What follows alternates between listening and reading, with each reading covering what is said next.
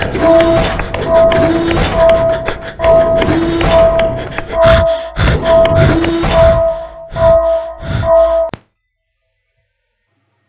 everybody, this is Streetcap1, fourth attempt at a narrative video.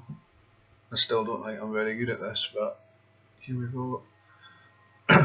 now, this interesting triangular shape here, which I have featured in the past, I thought I'd make a video to show you that it's a genuine find. It's in Ryder Crater on the moon.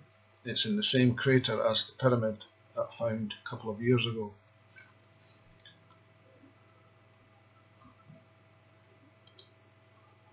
Let's have a look around.